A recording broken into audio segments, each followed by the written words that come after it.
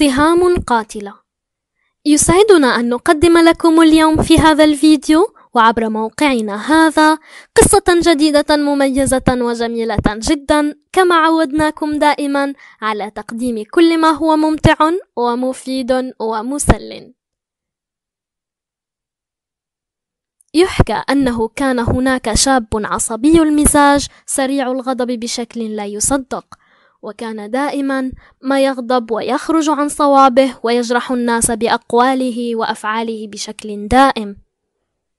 وكان والد هذا الشاب رجلا حكيما له خبرة كبيرة بالحياة وقد لاحظ هذه الصفات السيئة بابنه فقرر أن يعلمه درسا ليصلحه ويقومه.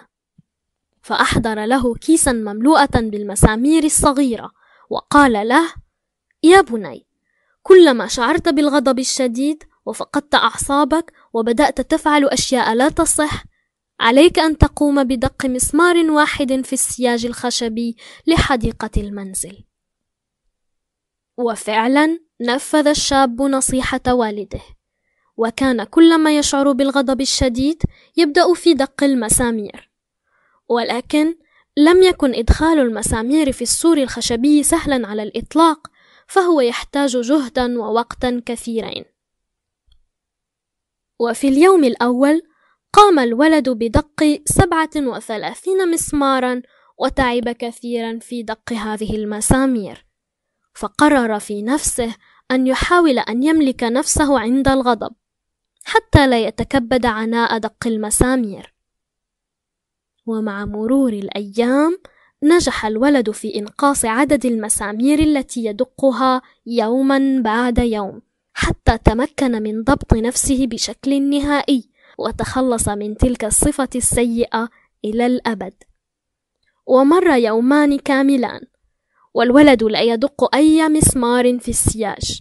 فذهب إلى والده فرحا وفعلا هنأه الوالد على هذا التحول الجيد. ولكنه طلب منه شيئا جديدا وهو القيام بإخراج جميع المسامير مرة أخرى من السياج.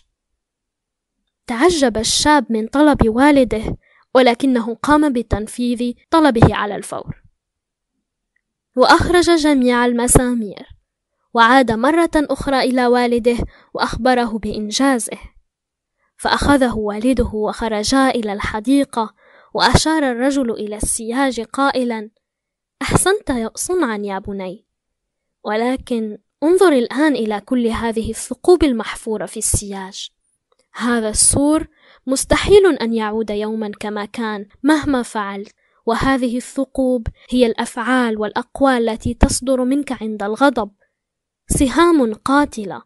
يمكنك أن تعتذر بعدها ألف مرة لعلك تمحي أثرها. ولكنها دوما ستترك اثرا في نفوس الآخرين.